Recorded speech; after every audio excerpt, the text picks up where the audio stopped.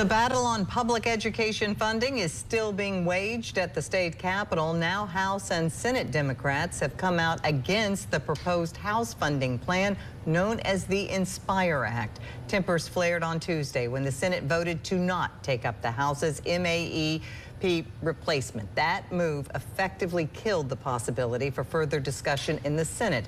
But just moments ago, House lawmakers placed the Inspire Act language into a Senate bill sending one final Inspire Act over to the Senate for their consideration.